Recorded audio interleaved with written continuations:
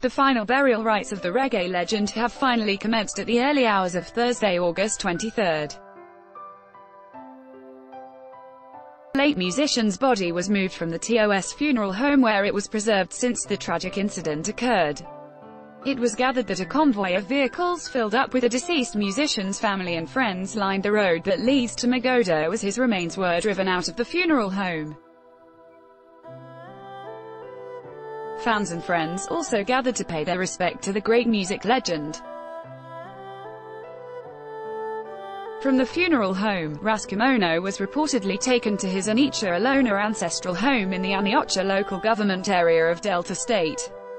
Had reported that the dreadlocked music legend had been rushed to the hospital while he was waiting to board a flight at the Murtala Muhammed International Airport.